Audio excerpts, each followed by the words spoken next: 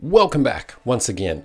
Yes, we're in a slightly different space now. This is a bit smaller, a bit more compact. Hopefully it's not too echoey. We'll see how we go.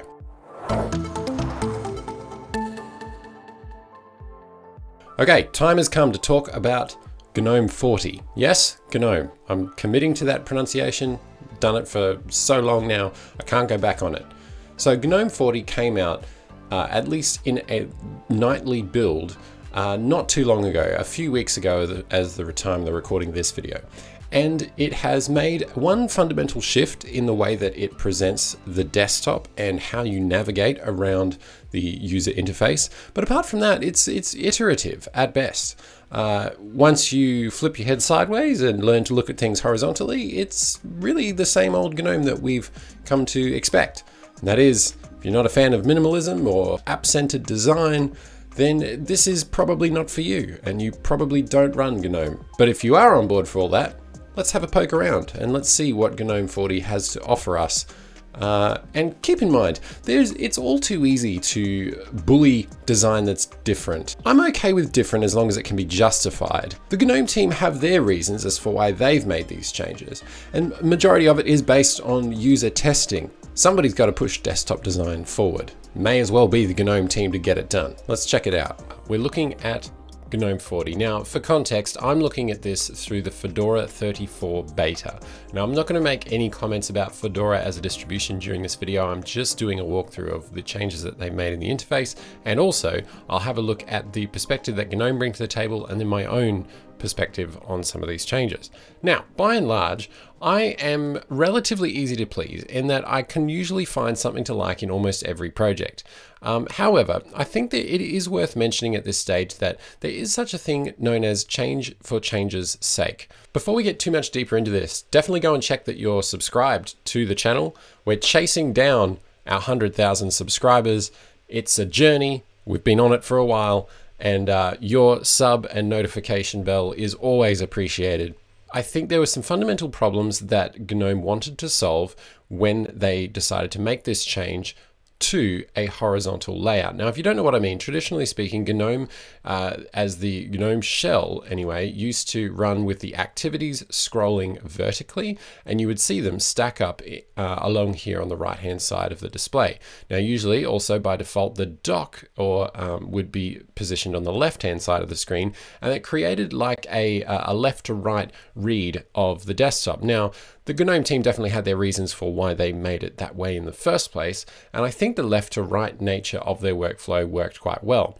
And as is typical in the Linux and open source community, as soon as people had gotten used to a particular workflow and way of doing things that was initially controversial, then when it is changed, suddenly everyone riots once again. I don't think that's the case this time around. I think the, the community has chilled out mostly, I guess. But the left to right uh, read of the workspace in terms of uh, the dock on the left hand side, the activities view, or kind of an expose app view of whatever you've got open on the workspace here in the middle, and then the workspaces scrolling or stacked vertically, dynamically, of course, uh, on the right here, led to a, a nice workflow. It was a bit different. And I think the what they've come to realize is that the discoverability of this workspace takes a bit of learning curve. And that's why big name distributions like Ubuntu tend to customize this distribution uh, or this interface to make it fit with what consumers expect or at least people that have used a computer before. Now, what I would say is that the biggest concession that, uh, that the GNOME project have made this time around is that they are admitting in some ways that their previous attempts at a minimal app-centered and uh, distraction-free um, user interface design was a little bit too obscured in that the learning curve possibly was too great and so they have settled on creating an interface that uh, that at least at first pass feels familiar to those who have used macOS and, and Windows before, in that fundamentally the workspaces scroll left to right instead of up and down, and the dock runs on the bottom. Now, there's still a bit of discussion and uh, and potentially they are experimenting here with some other ideas of where to put the top panel.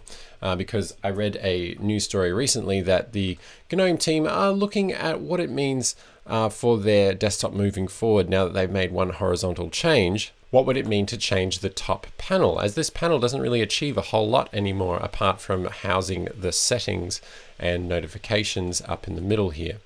Nevertheless, the big changes that come with this GNOME 40 release that I'm most excited about is the admittance that touchpad gestures mean a lot to users. And this is something that I've been railing on for quite some time, and the fact that we now have one-to-one -one touchpad gestures built into a desktop environment is very cool, and I'll be interested to see what other distributions make of this uh, as they roll out their features. Now, currently, you can only get GNOME 40 on OpenSUSE and Fedora and the nightly builds uh, that the GNOME team put out. Uh, so that is to say that uh, Ubuntu 21.04 won't be shipping with GNOME 40, uh, but they will forward, or they will bring forward some of the apps from the GNOME 40 release cycle so that the apps are up to date, but the GNOME shell itself will remain uh, at version 3.38. So, what does this mean in practice? Because at the end of the day, I haven't used this this particular interface for very long. This is definitely a first impressions kind of thing. While they have made some tweaks to other areas of the OS in the core apps and they've updated some things, they've put some more spit and polish on bits and pieces, honestly, it feels really, really similar to what we've come to expect from GNOME. The biggest thing that I think is really going to irk experienced use, uh, users of uh, GNOME is that I'm not sure at what level the compatibility for GNOME extensions is enabled. So with some of the more famous uh, GNOME extensions, let's say GS Connect, be interesting to see what versions uh, which extensions have been updated for GNOME 40. For example, I know uh, Dash to Dock has only just been updated for GNOME 40, and I think the compatibility of extensions uh, as the desktop rolls forward has historically been an issue for the GNOME desktop. So I would encourage you if you're looking to jump on this bandwagon relatively soon uh, and you're wanting to run Fedora, OpenSUSE, or even the nightly build of GNOME, bear in mind that some of your favorite extensions, which uh, which a lot of people rely on to uh, make the GNOME desktop work well for them, uh, might not work yet. Now here's what I will say. I still think out of the box, while the GNOME 40 release is a huge step forward in making a workspace that is far more discoverable on first boot, I do have to think at what point have the trade-offs been made between users who have gotten used to GNOME Shell and the way that it works and prefer it, to be honest, uh, and those who will potentially find GNOME Shell as a new interface to use. The reason I want to sort of pit those two ideals against each other is that, and this is just a hunch, but I do feel like that sometimes in the open source software world, we tend to prioritize the needs of the new user and their preferences when it comes to how they use a computer and what they expect from their software. We often prioritize those features and those uh, that system of thinking over pandering to the needs of the community that we've already built. And uh, pandering makes it sound like it's a bad thing, but honestly, looking after the needs of your users is what has uh, is what has led to a, a desktop like KDE Plasma being as good as it is. Constant iteration and contribution to make it better for the users who already use Plasma, as opposed to building a desktop from the ground up for the use of others, uh, or for the use of people that haven't come across the GNOME desktop before. Now, I do love the fact that the onboarding and the, the setup tour app is really smooth. I love the fact that they have included this out of the box and that each release it looks better, more polished, more colorful, and they step through the gestures and the workspace and all that kind of thing. Um, and so I really think GNOME is making amazing strides at becoming more accessible to the end user. But I do wonder about the trade offs that they make along the way that affect the users that have been with them for a long time.